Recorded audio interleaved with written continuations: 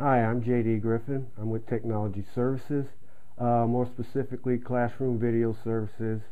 I also take care of the uh, network at the dorms for the students.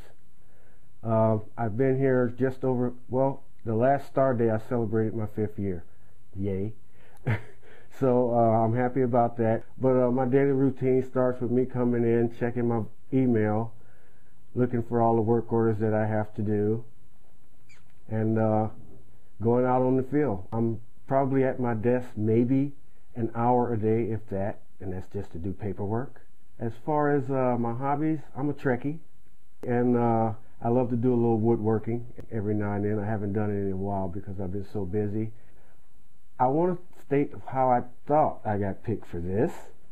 Uh, Cindy Matson has a division-wide meeting every quarter, and the last quarter we did a little thing with Bob Boyd during Christmas, I think it was, where we where he did a 10 or 15 minute skit with each person, and I think that's how I got picked. I, I think my name trickled down from the fourth floor of the library to you, and but that's okay. I'm good with that.